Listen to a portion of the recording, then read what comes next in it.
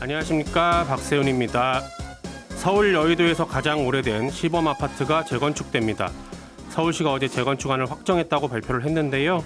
앞으로 시범 아파트는 최대 65층 2,500세대 규모로 개발될 예정입니다.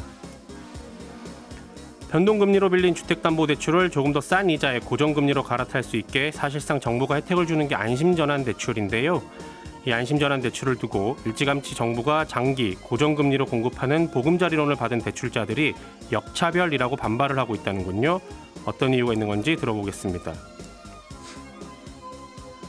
채권 시장에서 돈이 안 도는 문제가 자동차 시장에도 영향을 주고 있습니다. 카드사나 캐피털사들이 채권 시장에서 돈을 빌려오는 게 힘들어지면서 자동차 할부 금리를 높이고 있는 건데요. 이 내용도 자세히 들어보겠습니다. 11월 8일 화요일 손에 잡히는 경제 광고 잠시 듣고 시작합니다. 네, 아, 죄송합니다. 아, 자, 박 작가님 고생하셨고요. 경제 뉴스를 정리해 보겠습니다. 아, 박사훈 작가, 나수지 기자 평소처럼 나와 계시고 오늘은 휴가 간 김현우 소장을 대신해서 MBC의 양효걸 기자가 아, 처음으로 나오셨습니다. 어서 네. 오십시오. 예, 안녕하세요. 반갑습니다. 예, 첫날부터 긴장하게 해드려서 죄송합니다. 아, 아닙니다. 예. 어, 양 기자께서 준비해 오신 소식부터 들어보겠습니다. 네. 어제부터 안심 전환 대출을 신청할 수 있는 집값이 좀 올랐다. 네. 그 말은 문턱이 낮아졌다는 얘기겠죠? 기준이 완화됐다는 소식 전해드렸는데, 예.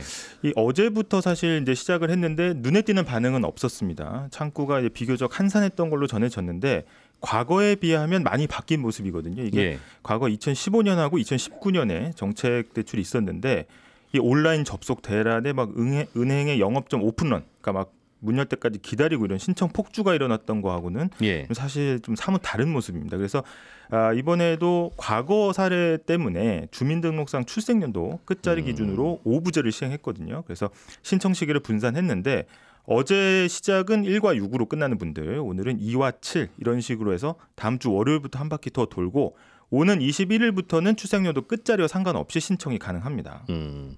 안심전환 대출이라는 게 이게 고정금리로 바꿔드려서 네. 그야말로 금리 상승기에 좀 안심할 수 있도록 하겠다는 맞습니다. 건데 예. 4억 원 이하 집값 손드세요 해서 받았더니 없고 네. 6억 원 이하도 많지 않은 것 같아요. 네, 이게 1단계 신청 때도 이런 이야기들이 나왔었는데요. 현재 이제 기준금리가 가파르게 오르면서 사실 아까 말씀하신 것처럼 이제 전환해서 이제 안심해라 뭐 이런 취지 아니겠습니까? 근데 예. KB 국민 신한 하나 우리 등 이제 4대 은행의 변동형 혼합형 주택 담보 대출 최고 금리가 이미 7%를 넘어선 상황이거든요. 그래서 예. 뭐 물론 미국 금리 스케줄에 따라서 연내 혹은 연, 내년 초까지 금리 상단이 뭐 8에서 9%까지도 오를 수 있다 이런 전망이 나오는 상황이라서 사실은 안심 전환 대출에 대한 수요는 충분히 예상이 되는 상황입니다. 음. 하지만 결국 이제 아까 말씀하신 것처럼 집값 기준하고 소득 기준이 이제 이게 걸린 거 아니냐 문제란 이야기가 바로 나오는 게 바로 이 때문입니다. 그래서 예, 집값 기준이 4억 원 이하일 때는 4억 원 이하 집을 찾기가 사실 현실적으로 어렵다는 음. 것이었고 이 때문에 지난 9월 15일부터 지난달 말까지 1차 신청을 받았는데 전체 공급 한도의 약 16%에 그쳤습니다. 그러니까 예. 흥행에 실패를 한 거죠. 그래서 이 주택 가격 기준을 6억 원으로 이제 완화 이제 올렸는데 아시겠지만 서울 지역에서는 이 기준에 들어오기가 사실 쉽지가 음. 않습니다. 그래서 예. 지난달 KB 부동산 기준으로 서울 주택 평균 가격이 9억 2,694만 원인데 음. 수도권으로 그러면 범위를 한번 넓혀보자 해도 전체 주택 종합 매매 평균 가격이 6억 5,700만 원이니까 이것도 6억 원 넘습니다. 그래서 음. 이 부분이 이제 당정이 이제 협의를 하면서 9억 원으로 완화하면서 이제 신청자가 9억 원으로 늘리면 좀 크게 늘지 않겠냐 이런 음. 전망이 음. 나오고 있습니다. 9억 원으로 다 신청 다 받고 나면 이제 고금리 시대 대충 마무리 되어 가는 거 아닌가 모르겠네요. 네, 그러니까 그럴 수도 있을 것 같은데. 네. 예.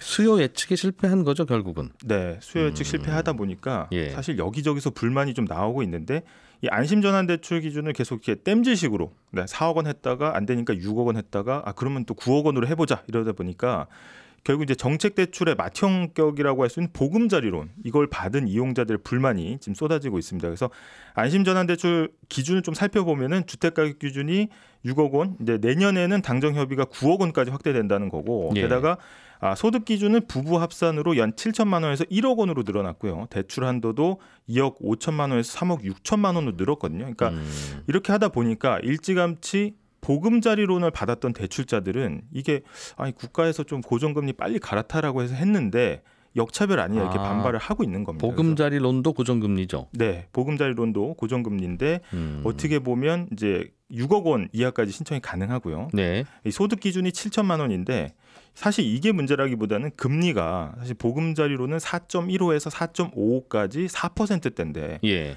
안심전환 대출은 연 3.7에서 4.0%대니까 아. 더 싸니까 이번 조치로 기존의 보금자리론 빨리 받으신 분들은 음. 오히려 자격 요건은 더 까다로워지는데 이자까지 비싸다 이런 상황이 됐고요. 그래서 어, 당정 협의가 이제 어제 있었는데 이 내년에는 안심전환 대출을 가격 기준 9억 원 확대하고 공급 네. 규모도 50조 원으로 늘리기로 했습니다. 그렇게 되면은 사실은 아까 말씀드린 것처럼 어, 서울 일부 지역을 제외하고는 대부분 신청 대상에 들어갈 것으로 보인 예상이 됩니다. 음. 그래서 아, 한동안 역차별 논란이 계속될 것으로 보입니다. 원래는 보금자리 론보다는 안심 전환 대출이 오히려 더 서민용이었고 맞습니다. 그러니까 혜택 많이 주는 거 그냥 이해하고 넘어갔는데 네, 신청이 없다 보니 안심 전환 대출을 더 중산층 쪽으로 범위를 확대하고 확대한 거죠. 예. 그러면 보금자리 론 받으신 분들은 왜 우리는 더 그럼 혜택이 없냐 그 그러니까 이제 말이군요. 격한 표현으로 이제 4%대 받은 사람 참 바보냐 뭐 이렇게 얘기가 음. 나오기도 하는 겁니다 지금. 네. 그렇군요. 좀 그래서- 오그라게 되기도 했네요. 네, 그래서 권한이. 이제 주금공이 이제 문제는 이제 안심전환대출 2차 접수를 안내하면서 네. 아, 연말 전후로 보금자리론 금리 인상이 예정돼 있다. 그러니까 지금 빨리 보금자리론 말고 안심전환 대출을 받아라 이렇게 또 안내를 하, 기도 했다는데 예. 그러면 사실 지금 기존에 보금자리론 받았던 분들은 어, 이 우리 금리 경쟁력이 더 떨어지는 거냐 이렇게 또또 불안해하실 수도 있고요. 그래서 예. 아, 사실 정부 입장도 이해는 됩니다. 왜냐하면 이제 금리 인상기 어떻게든 가계부채 변동성을 좀 줄이기 위해서 고정금리로 좀 유도를 해야 되는데 음. 전체 이제 가계 주담대 가운데 변동금리 비중이 75.4%거든요. 그러니까 예. 네집 중 세 집은 이제 변동금리에 노출이 돼 있다. 그러면 음. 지금 같은 상황에서는 사실 이걸 조금이라도 낮추는 게 어떻게 보면 좀 올바른 방향이라고 보이긴 하는데 음. 그럼 기존의 대출을 이용한 사람들은 좀 억울한 부분이 없어야 되지 않냐 이런 예. 얘기들이 나오고 있는 겁니다. 계속 확대를 하려면 네. 차라리 처음부터 집값 에 대한 기준은 없습니다. 네, 일단은 신청 다 해보십시오. 네, 라고 한 후에 정부 예산이 허락되는 한에서 그게 뭐 5억 7천의 커트라인이 됐든 네. 4억 5천이 됐든 끊어주면 됐을 텐데. 네, 아무래도 이제 주금공이 이제 공공 정책을 다루다 보니까 예. 아무래도 이제 비판에 좀 취약한 거고 이제 서민이나 중산층 대상으로 하는 상품을 어, 어떻게 보면 고소득자나 아니면 음. 은 자산이 많은 사람이 받는 거에 대한 어떤 그런 리스크가 더 크다고 본 거 같거든요. 굉장히 보수적으로 음. 집값을 잡다 보니까 이런 땜질식 처방이 나온 것 같습니다. 예. 고맙습니다. 박 작가님이 준비해 오신 내용으로 좀 넘어가 보죠. 네. 서울 여의도에는 시범 아파트라는 아파트가 있는데 네. 이게 50년 다 된 아파트라고 해요. 71년생입니다. 조금 넘었네요, 그러니까. 그렇습니다. 예. 이 아파트를 비롯해서 그 그쪽 라인에 낡은 아파트들이 굉장히 많은데 그렇습니다. 시범 아파트의 재건축안이 확정됐다는 그렇습니다. 소식이네요. 서울 예. 아파트 가격의 중장기적인 흐름을 예측을 할 때 가장 예. 중요한 변수가 되는 게 앞으로 아파트의 공급이 얼마나 되느냐 이거거든요. 그래서 서울 집값은 특히 재건축과 재개발이 얼마나 잘 진행이 될 것인가 이게 중요한 예측 자료가 됩니다. 예. 왜냐하면 서울에는 새롭게 대규모로 집을 지을 땅이 없으니까 재건축 재개발이 가장 규모가 큰 아파트 공급원이라서 그런 건데요.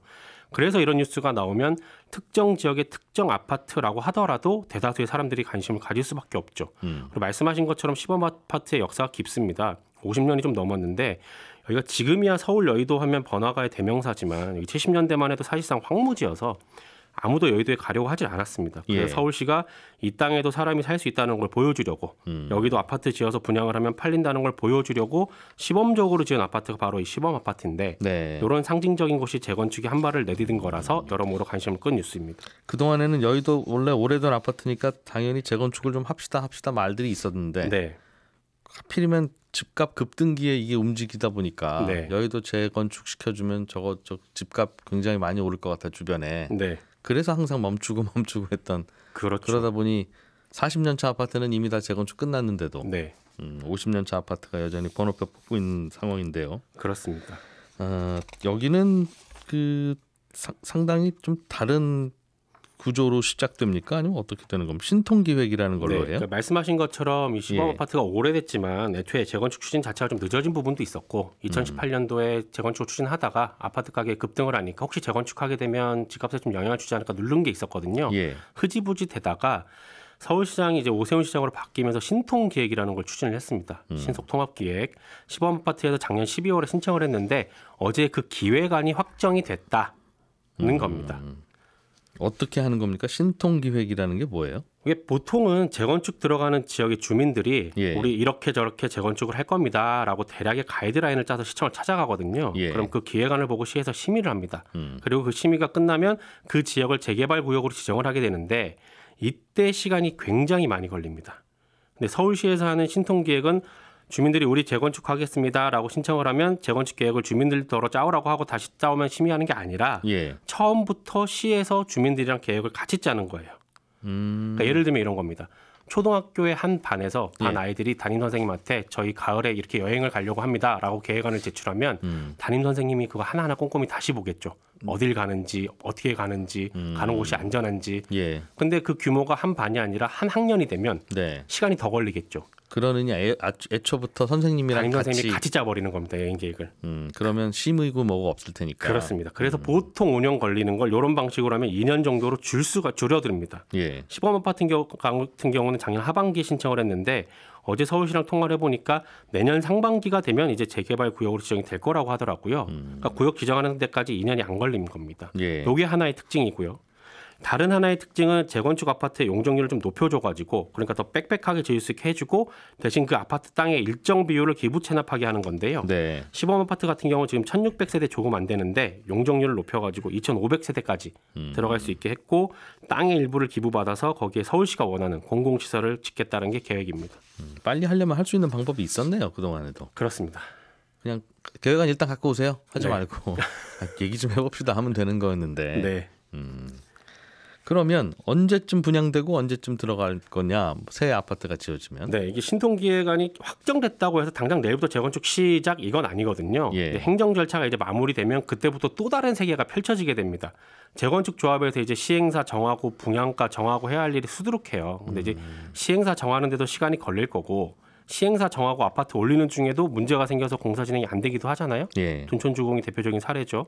분양가 정하는 것만 해도 정부가 분양가 상한제를 지금처럼 유지를 할지 아니면 규제를 좀 완화할지 아니면 완전히 없을지 이거 잘 모릅니다. 네. 그래서 시범 아파트의 재건축이 언제쯤 끝이 나서 분양이 될지는 지금으로서는 전망하는 게 굉장히 어렵습니다. 아, 이게 뭐 됐다는 게 아니라 정부가 그동안 막고 있었던 걸 네, 추진조차 하지 마세요. 네, 어, 이야기도 꺼내지 마세요 하던 네. 걸 추진하시는 건 허용하겠습니다로 바뀐 거네요. 그렇습니다. 그래서 어제 나온 이 뉴스는 아 서울 여의도의 시범 아파트가 재건축이라는 산에 오르기 위한 준비를 마쳤고 이제 한 발 내디디려 하는구나 음. 예. 정도로 이해를 하시면 됩니다. 내일 아침에 등산 떠나려고 가방 싸는구나 이제. 네. 중간 중간에 또 제도 바뀌고 하면 또 어떻게 될지는 모르는 모릅니다. 일이고. 알겠습니다. 뭐 여, 여, 서울 여의도의 특정 아파트가 재건축하고 말고 하는 게 뭐 그렇게 큰 뉴스라고 하느냐 싶, 싶으실 수도 있는데 네, 이게 전반적으로는 어, 이런 걸 비롯해서 전반적인 서울 도심의 아파트 재건축에 대한 이제 흐름이 어떻게 되고 그렇죠. 있는지 시작이 되는지 멈춰지고 있는지 브레이크가 밟히는지 그걸 좀 볼 수 있는 소식이라서 전해 드렸습니다. 네. 예, 나수지 기자님. 네. 오늘 요즘 금리가 오르면서 자동차 살 때 돈 빌려주는 자동차 대출 금리 네. 이것도 생각해 보니까 많이 올랐겠다 싶어요. 네, 그렇습니다. 그러니까 은행 대출 금리도 많이 올랐지만 이 특히 카드사와 캐피탈사들이 많이 하는 자동차 대출 금리가 최근에 급격하게 올랐는데요. 어, 그랜저 새 차 산다 이렇게 가정하고 요거 가격이 90% 대출 받아서 3년 동안 나눠 받는 거, 나눠 갚는 거 예. 기준으로 하면 이 보통 금리가 연 6에서 7% 정도 나옵니다. 음, 근데 가장 높은 곳은 한 10%까지도 올라가고요. 네. 근데 이게 지난달만 해도 같은 조건으로 보면 한 연 4에서 5% 정도면 대출 받을 수 있었고 음, 7월만 해도 2에서 한 3% 수준이면은 같은 기준으로 대출 받을 수 있었거든요. 와. 근데 한 세 달 만에 금리가 3배는 오른 거죠. 그래서 음. 최근 들어 다른 대출 상품들도 금리 많이 올랐지만 유독 예. 이렇게 자동차 어, 대출 금리가 급격하게 올랐습니다. 자동차 할부 금리가 7월에는 2%였는데 지금은 10% 가까이 받는 데도 있다. 네. 그 자동차 할부라고 하는 게 결국은 할부해주는 카드사나 캐피탈사나 이런 곳이 본인들이 돈 빌려와서 차를 산 후에 네. 그거 다시 우리한테 다시 주면서 그 차익 먹는 건데 네, 그렇습니다. 본인들이 돈 빌려오는 원가 이자가 많이 올라서 그렇다 그런 설명이겠죠? 네, 이게 캐피탈사나 카드사는 은행처럼 뭐 사람들로부터 예금을 받을 수 없다 보니까 채권을 발행해서 돈을 마련하는 수밖에 없는데 뭐 음. 여러 차례 말씀드렸지만 채권 시장에서 돈 빌리는 게 워낙 어렵잖아요. 예.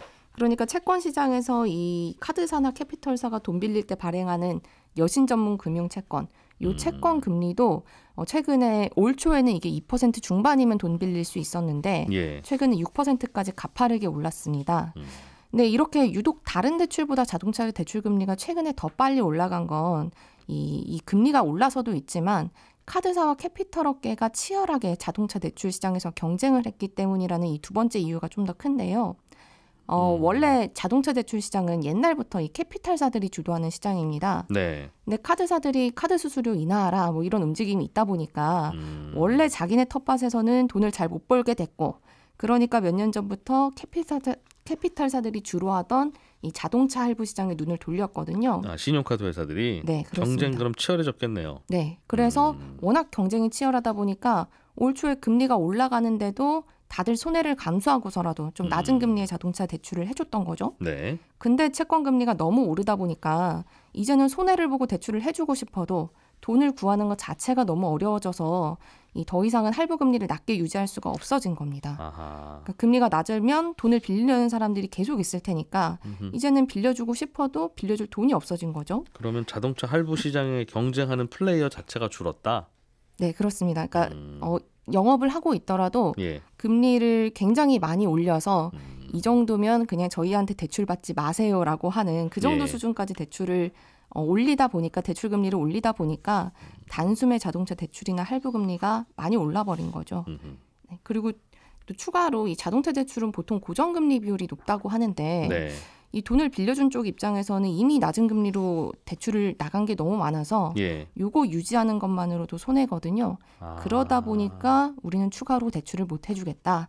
그러니 금리도 어, 이 대출을 받지 말라는 수준으로 급격하게 최근에 올려버린 겁니다. 올해 상반기까지 자동차 할부로 사신 분들이 위너네요. 그렇습니다. 어, 할부 금리로만 보면 네, 지금 상황으로 보면 음. 그렇게 된 거죠.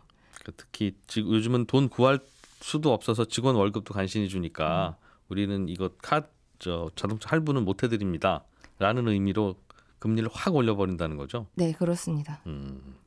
문 가게 문 닫을 수는 없고 네, 그러니까 설렁탕 5만 7천 원 이렇게 붙여놓으면 아무도 안 사 먹게. 어, 사실상 문 닫은 것과 같은 효과. 네, 그렇습니다. 그럼 자동차를 사시려는 분들은 좀 불편하거나 줄어들겠습니다. 네, 뭐 사실 요새 자동차뿐만 아니라 물건값 다 오르고 경기는 나빠지니까 전반적으로 수요 위축이 되기는 했지만 자동차는 또 그 폭이 더 큰 겁니다. 예. 그러니까 우리가 소비하는 상품들 중에 생각해 보면 자동차가 가장 비싸잖아요. 그러니까 보통 자동차 살 때는 현금으로 한 번에 사는 분 거의 안 계시고 다 대출 받아서 사게 되는데 금리가 가파르게 오르게 되니까 자동차를 사려는 사람 입장에서는 그렇지 않아도 뭐 자동차 반도체가 부족하고 생산이 잘 안 돼서 차값이 많이 음. 올랐는데 이제는 돈을 빌리는 비용도 늘게 돼서 결국 차 가격이 전반적으로 오른 것처럼 느껴지는 효과가 있거든요. 보니 손이 잘 안 나간다. 네. 예. 그러다 보니까 실제로 자동차 기업들 어, 3분기 실적을 보니까 어, 지역별로 적게는 3%에서 많게는 20%까지도 음. 지난해보다 수요가 많이 줄었다고 하고 그러다 보니까 스위스 금융회사에서는 내년에 미국이랑 유럽 자동차 회사들은 이익 반토막 날 수도 있겠다. 예. 이런 전망을 내놓기도 하거든요. 음. 그러니까 금리 상승 때문에 많은 기업들이 어려움을 겪고 있는 거는 맞는데 네. 이 자동차 기업들한테는 그 타격이 더 음. 크다는 걸알 수 있는 뉴스였습니다. 이게 그래서 자동차 업계에서는 뜨거운 토론 주제더군요. 음, 그 수요가 정말 죽을 거냐, 네. 경기 안 좋은 거 생각하면 죽을 것 같은데 그동안 또 이- 지난 몇 년간 자동차 공급이 잘 안 돼서 어허. 다들 줄 서서 밀려 있었잖아요. 네. 그러니까 그분들이 목마른 거 생각하면 계속 사실 거야 네. 하는 의견도 있는 것 같고 좀 지켜봐야 되겠네요. 박 작가님 어제 네. 환율이 좀 떨어졌습니까? 그렇습니다. 요즘 환율. 뉴스에도 귀를 기울여야 하는데 어제 예. 1,401.2원의 거래를 마쳤습니다. 그 전날보다 18원 내린 건데 18원이 한 번에 내리거나 오르는 건 좀 드문 일이거든요. 음. 그리고 어제 장중에는 1,399.6원까지도 내리기로 했는데 네. 아주 잠깐이지만 1,400원대를 찍은 건 한 달 만입니다. 음. 근데 환율 떨어지는 이유야 여러 가지가 있을 거고 그 누구도 원인을 제대로 알긴 힘들지만 이런 해석이 나오기도 합니다. 뭐냐면 최근에 중국에 투자한 외국인 투자자들이 중국 자산을 팔고 있는데 네. 자산을 판 돈으로 우리나라 주식을 사들이고 있다는 거죠. 그러니까 외국인들이 우리나라 주식에 투자를 하려면 달러를 가지고 와서 원화로 바꿔야 하니까 시중에 달러가 많이 풀리는 효과가 있는 것 같다. 음. 라는 겁니다. 주식시장에 외국인들도 조금 들어오는 것 같기도 하고 요즘에. 네. 나수지 기자님 최근에 흥국생명이라는 보험회사가 네. 영구채라고 하는 걸 발행해서 5년마다 한 번씩 그냥 갚아드릴게요라는 사실상 약속을 하고 받아 음, 발행한 영구채에 대해서 네. 우리 상황이 안 좋아서 못, 중간에 못 갚겠습니다. 이런 선언을 해서 흔들, 좀 시장이 흔들렸는데 네. 흥국생명이 의견을 좀 바꾼 모양이에요. 네, 이 채권 시장에 생각보다 혼란이 커지니까 어제 저녁에 흥국생명이 이 영구채 그냥 갚겠다 이렇게 발표를 했습니다. 네. 어떻게 갚는지가 관건일 텐데 일단 채권 시장에서 5천억 정도 단기 자금 빌려서 영구채를 갚겠다라고 했고요. 네. 근데 문제는 흥국생명 입장에서 이렇게 하면 영구채는 자본으로 인정을 받는데 음. 이 영구채는 사라지고 빚만 늘어나는 셈이어서 이렇게 되면 금융당국이 요구하는 그 지급 여력 비율, 그러니까 충분히 보험금을 돌려줄 수 있도록 돈을 가지고 있어라. 요 비율을 아. 못 맞추게 됩니다. 또 영구채를 발행했으면 몰라도 네. 일반 채권을 발행해서 갚으면 이거는 자본이 아니니까 흥국생명 입장에서는 네, 빚이 되니까요. 그래서 예. 앞으로 어, 이 모회사인 태광산업 그리고 계열사들이 흥국생명에 추가로 돈을 넣어서 어, 자본을 좀 늘릴 것으로 예상이 되는데 음, 이게 흥국생명이 예상보다 혼란이 커지니까 일단은 단기자금 빌려서 급한 불부터 끄고 보겠다. 음. 이런 음지금으로 해서 모 회사에서 돈 넣도록 하겠다는 거죠. 네, 그렇습니다. 네, 초부터 이랬으면 되는 건데 그냥 또 별일 없겠지 하고 넘어갔던 게참 일을 좀 키웠네요. 네. 금융당국도 여기에 대해서는 그렇게 하세요라고 했던 것 같은데. 네, 그렇습니다. 문제 없다라고 생각했는데 음. 생각보다 채권 시장에서 영향이 많이 받은 거죠. 그러게요. 음. 예, 저는 11시 5분에 이어지는 손에 잡히는 경제 플러스에서 다시 인사드리러 오겠습니다. 이진우였습니다. 고맙습니다.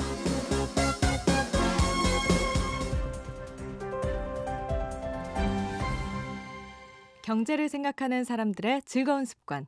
이진우의 손에 잡히는 경제.